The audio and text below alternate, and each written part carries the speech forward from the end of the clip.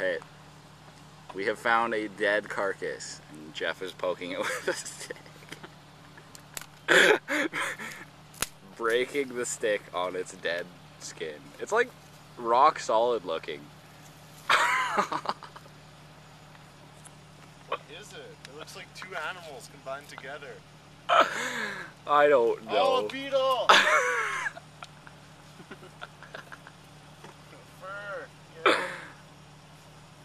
And poo. There's poo from the corpse.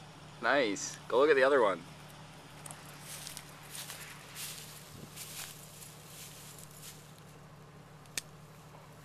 That's so gross.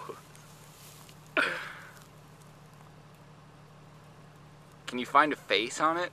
I think it's right there. What the fuck? Like, crazy people come out and like skin two animals alive and just. They like slaughtered those things. They have no guts anywhere.